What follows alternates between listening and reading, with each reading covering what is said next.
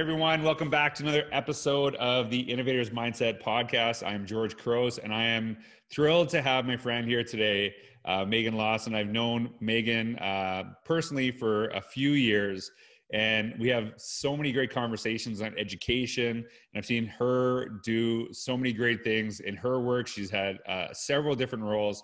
And I'm really excited to talk about education today with Meghan and, and, and some of the stuff that she does. And I'm to share a couple quotes uh, in a second uh, of things that have really resonated with me. And we'll share links so you can connect with Meghan on her on her blog, uh, on her Twitter account. But Meghan, thank you so much for taking the time uh, to to actually have a conversation today. Can you just share a little bit about who you are and just some of the work that you've done in education?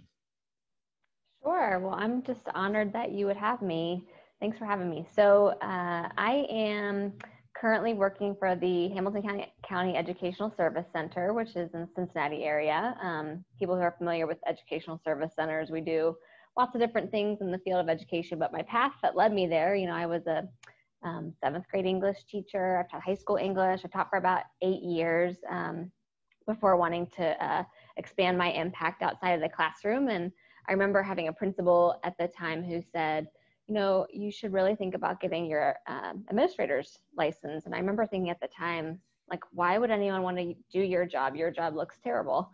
And uh, she, she said, you know, urged me to really um, challenge myself in that way um, outside the those four walls of my my classroom. And so I'm so glad I did. Um, I've learned a lot. Uh, I was an assistant principal in a middle school for a couple years. I got to work in a central office um, role as a secondary um, director of curriculum for about four years. Um, so I've gotten to uh, just do all kinds of, of neat things. But the thing that's been fun about the Educational Service Center experience is that, um, you know, we dabble uh, in all kinds of different supports. And last year I got to be an interim principal in an elementary school um, and really um, experience elementary world for the first time and just was blown away by the amazing work that uh, elementary teachers uh, do with kids and just looking at kindergarteners and seeing how much that they you know grew from the beginning of the year till the end. So um, yeah that's just a little bit about me. I'm just currently supporting districts in a lot of different ways and enjoying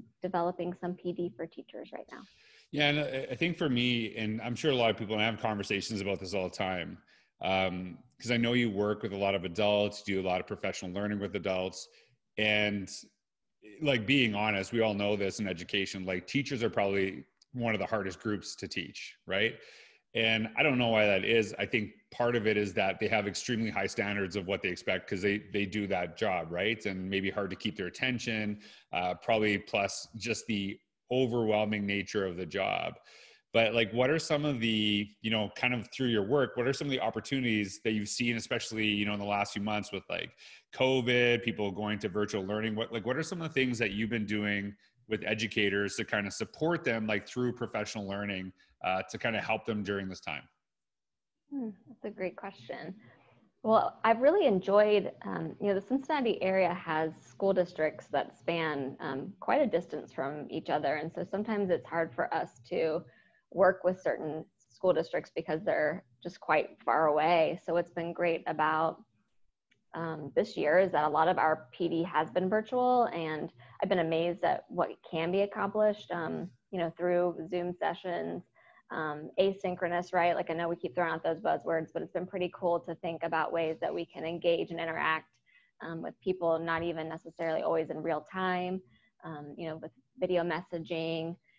Uh, so I've I've enjoyed that, um, but I've also just tried to be really intentional about modeling um, vulnerability and, and, asking for feedback and admitting when I don't know things and talking about when things are hard um, because things are hard right now. And I think October, especially, is a difficult month. You know, people have been in the grind for a while now.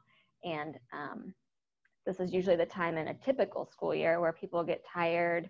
Um, it's harder for them to take care of themselves, it's harder for them to take care of others. So I've just been looking also for ways to be mindful of that and cognizant of that when you work with teachers. Like just like we with students like we have to meet people where they are um, and read the room whether it's virtual or in person. And so i'm just really trying to be thoughtful about letting people know how i'm doing asking how they're doing and asking for feedback about whether i'm actually meeting their needs and responding accordingly. And i think that for me like this is one of the things i've been really drawn to in the work that you're doing in really kind of that human connection. Like you talk a lot about courage, why that's important. Uh, you talk a lot about vulnerability. And, you know, as you're talking and listening, I actually just received an email today. It was really fascinating. I actually suggested uh, in a blog post um, that school districts look at, you know, on professional learning days, that they give people the opportunity to do some, like some self-paced stuff. Like we don't need to always bring people together. We don't need to like pack the day with learning right? I think people are overwhelmed. And um, there is there's a picture i saw on a site called imgur and it was really interesting and i cannot find it for the life of me but the message really resonated. It was like a quote card and it basically said like we spend a, a ton of time providing like mental health support and creating mental health initiatives but then don't look at the things that are causing the mental health issues in our system right in the first place. So it's like hey we're gonna like work you to death but then we're gonna have like yoga. So that should fix everything right? Like it's kind of that type of mentality. And so the email that i got i, I shared like hey think about like maybe just saying hey here's something i need you to do. Just you have this time, figure it out on your own time, do it when a time for works for you. And so superintendent contacted me this morning and she said just like the feeling of just be people being grateful to like figure out and saying like, Hey, you have until here's like an hour to watch. We'll talk about it, whatever, but I'll take Thursday and Friday for yourself and figure out when to do it and she did this as a superintendent and it's like it, there's accountability to the learning like it's people think that you know people aren't going to do it but they they have to like you know input some information. You know there's going to be evidence that they watched it. And i think that human connection that you talk about is really kind of understanding and stepping back as it like no one's going to learn effectively if we don't value them as people right? And i think that's something that's really powerful. And this was actually one of the reasons i really wanted to have a conversation with you today is you and i as i was writing innovate inside the box we are having a text conversation and you kind of like push back on something I said or like rewording it and you went through it and you text me and you said, Hey, you know, I wouldn't say this, I would say this. And this is this is actually the quote that you text me. You said, uh, we don't have to be perfect to make a difference. We need to care deeply about our impact on kids, care deeply about our words, and we need to embrace our humanness. And I actually said, Well, I'm not going to put that in my book as mine because you just said it so they just quoted you. So i don't know i don't know how you like reference a text in a book but you said it. So um like when you talk about that humanist and when you talk about that impact like can you kind of dig deeper into that quote? Like what does that look like in a school? What does that look like with our colleagues?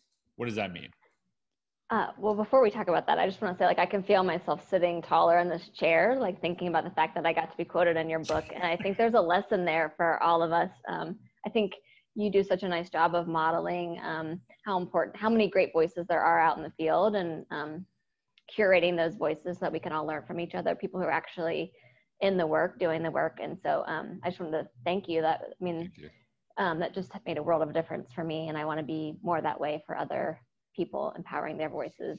Um, it, I don't, our humanity, like I give, I'm still blown away by the question. Like I'm still like, yeah, that was so cool. Like I quoted in your book. Yeah. What was the question? Well, you talked about you talked about like that that thinking about our impact. You talked about like that humanness. And I think especially this is something I really gravitate towards because we do a lot of work in these digital spaces, right? And I think sometimes we lose that there is a person on the other side of the screen right? Like, I think one of the big turnarounds for a lot of people is I've always seen, or I shouldn't say I've always seen, my focus for maybe the last 10 years is how do we use technology to build relationships? But a lot of people have seen as technology is doing the opposite, right? Like we become more disconnected. We do this, and I and I can see how that is relevant. But you know, seeing kids on Zoom, uh, you know, is like reminds me of FaceTiming my dad, right? Thing and when i didn't have that opportunity when i like when i first started university in 1999 i would have killed for facetime right? I was all by myself. Like when i started education i was in the middle of nowhere and to be able to see my family and that's like i started realizing like how important these things are. And so like that humanness that you talk about like what do you mean by that? Like what does that look like in education?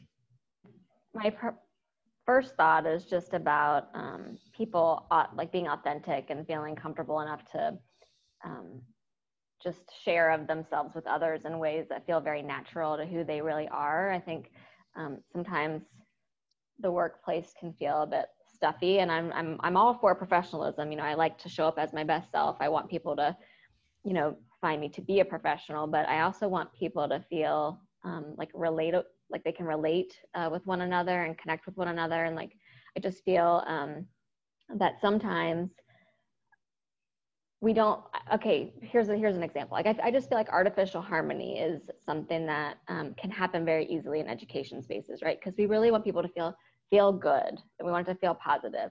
Um, i feel like there's a way to still have positivity um, but also share in ways that are really meaningful and talk about things that are hard or let people know how you're doing. Like you don't have to wallow in it, but like also just um, being thoughtful about the words that we use. Like I feel like there's so many um, even buzzwords in our field that we throw around as educators, and I don't even know if we're having the same conversation. Like you know, differentiation, tier one, tier two, tier three, systems. I mean, like I, I could list off the edu jargon that is everywhere. Um, and I just am looking for more meaningful ways to connect with other people who care about kids and doing good work for kids.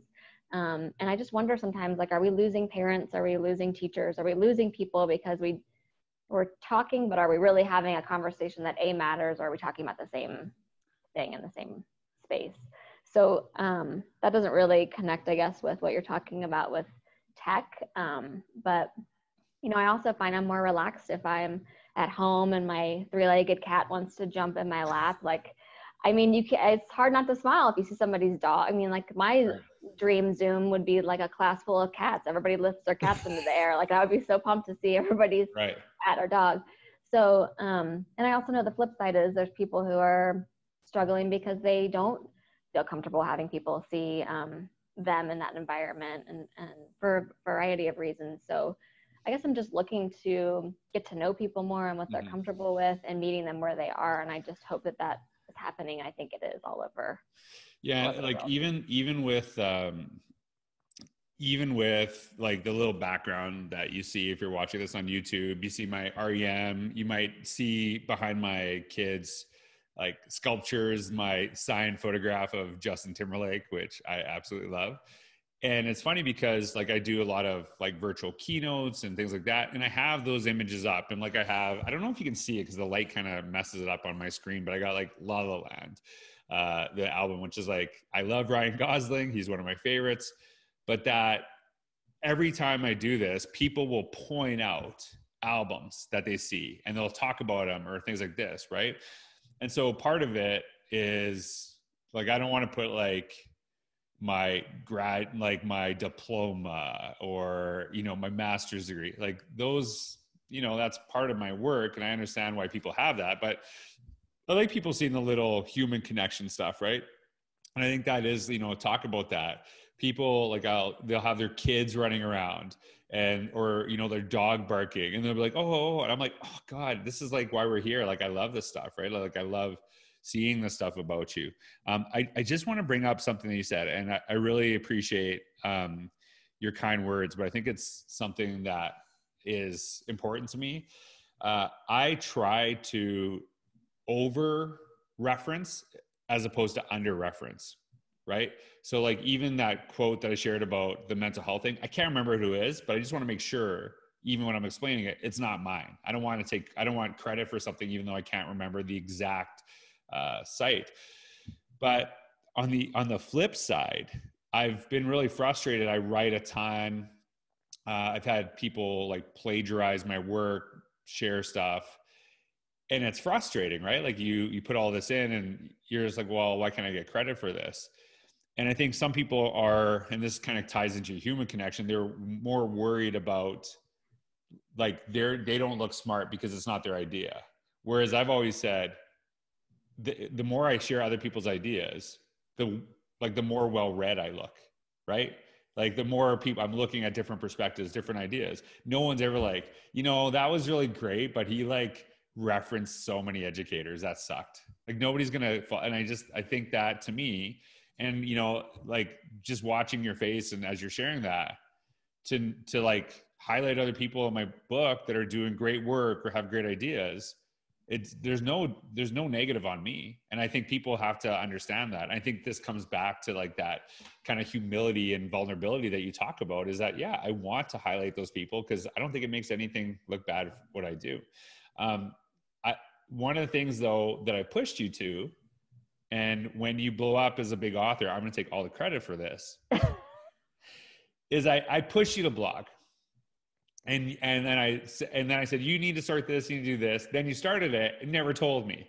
So then you're like, yeah, I got this website. I'm like, oh, like why didn't you say anything? Because I just thought you just like ah, you know, grumpy old George just saying dumb stuff. And so I've been I've been kind of digging in your blog and reading it. And for me, like for people that ever want to write a book, like that's how I started. Right? Is write. And we've you and I have talked about you writing a book in the future, and I'm excited about that. And there is a ton of of quotes that resonate, ton of articles, and I I just love kind of um, when I'm reading your blog, it's like this intersection of like human stories, education. It's not like education, education, education, right? And I feel that's what keeps people connected. And uh, it's from a blog that you wrote called Lost in the Moment. And like, see, I do my research before I do these things. So, lost in the moment, and you wrote this What if administrators stopped to notice when students were experiencing pure joy in a teacher's classroom and took 30 seconds to give that positive, specific feedback to the teacher? If our feedback is only about standards or data, or data, I don't know how you say it in the US, we send the message that this is all we care about. Let's start valuing those magical little moments that educators create for students. That's what keeps kids coming back with open minds and hearts every day. Can you just kind of talk us through that quote? I, like I loved it. I think it's really really powerful. There's a, I have a ton of thoughts on it, but like tell me like why you wrote that, some of the things things behind it. Okay, I will, but now I also have something that I wanted to that I'm thinking about. Um, yep. Just the fact that you have encouraged me to blog, um, and really you've never given me professional advice that didn't turn out to be great. and that's been one thing uh, that's been really great for me. Um, and here's why. Um, I've always loved to read. I've always loved to consume.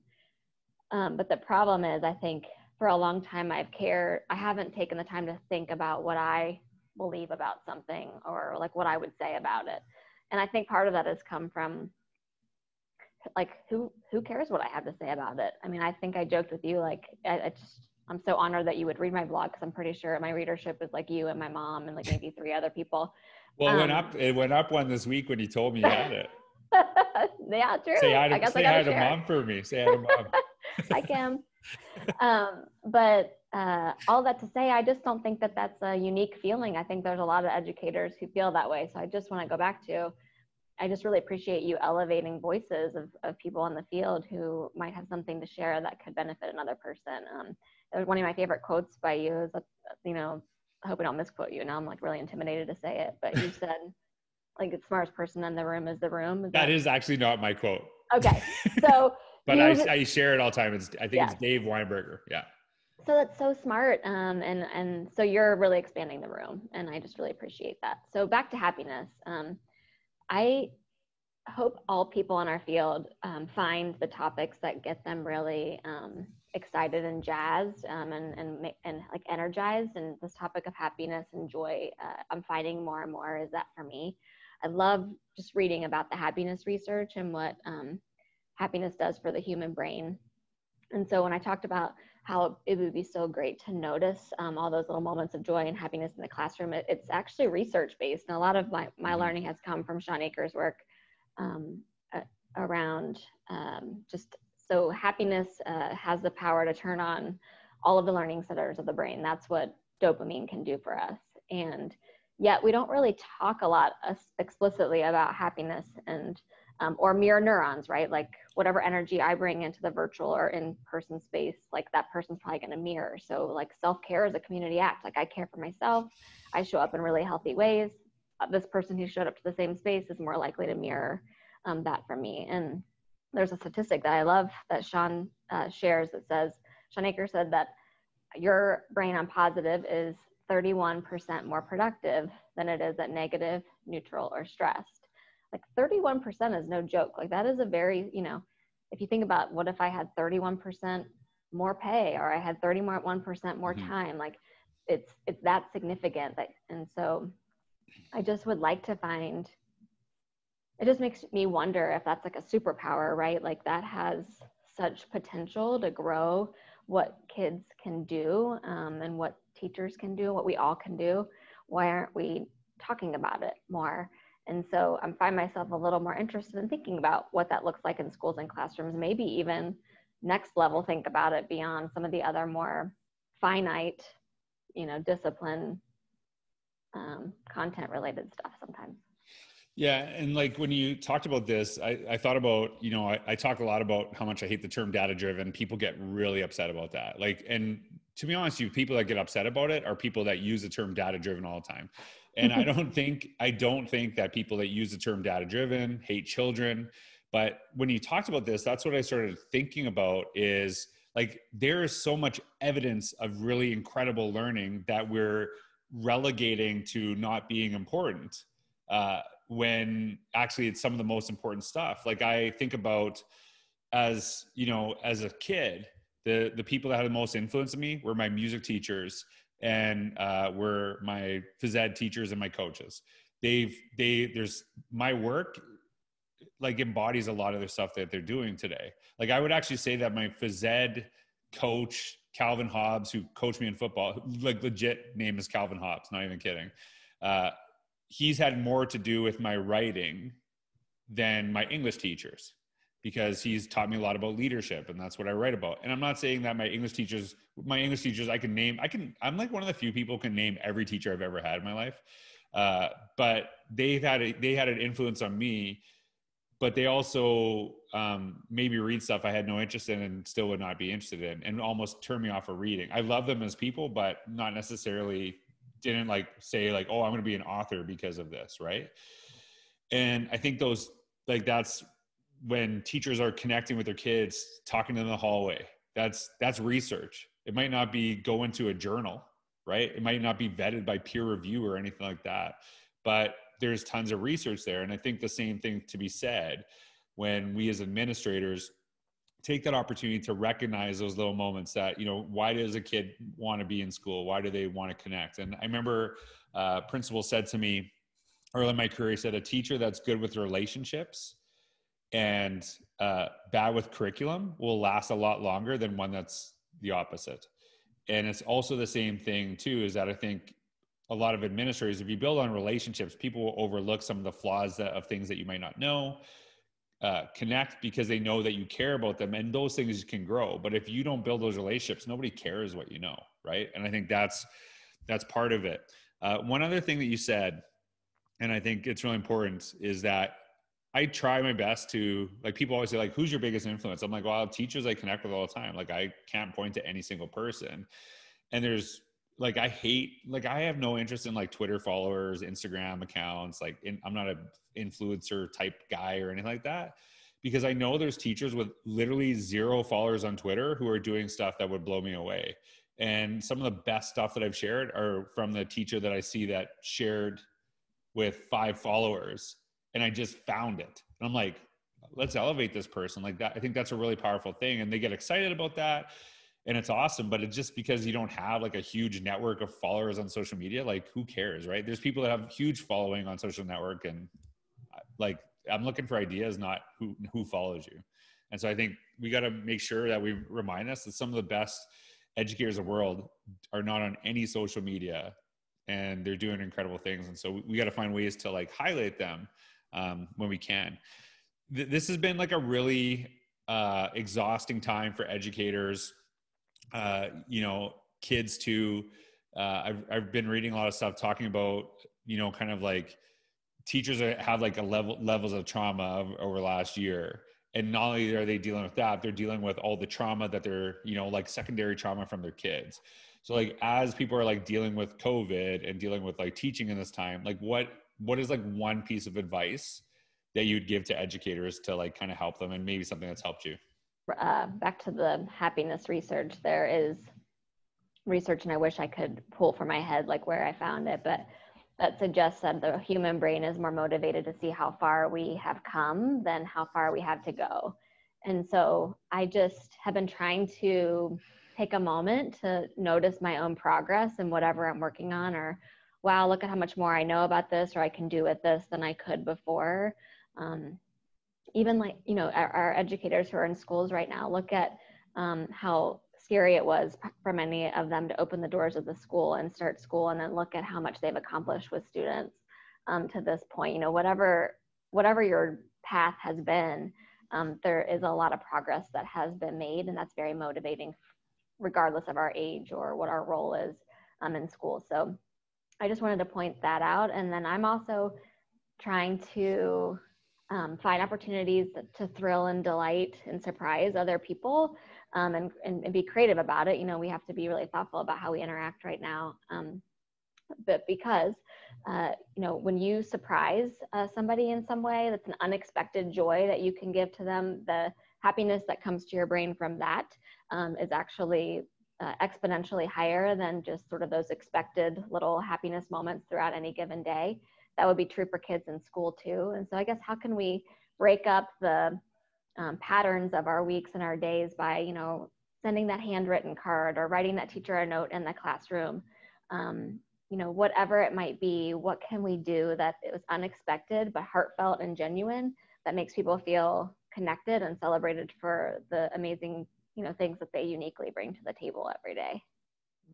Like as you were talking about this, I got an. I was thinking I got an email um, from someone who said, uh, like, they were like, thank me for this post and uh, they love my book, blah, blah, blah. And they said, you know, I don't expect you to write back, etc. And uh, I didn't write back. I phoned them. I just, I, they had their number on there. I just called them. And they're like, who is this? I'm like, it's George. And they're like, George who? I'm like, you just sent me an email two seconds ago.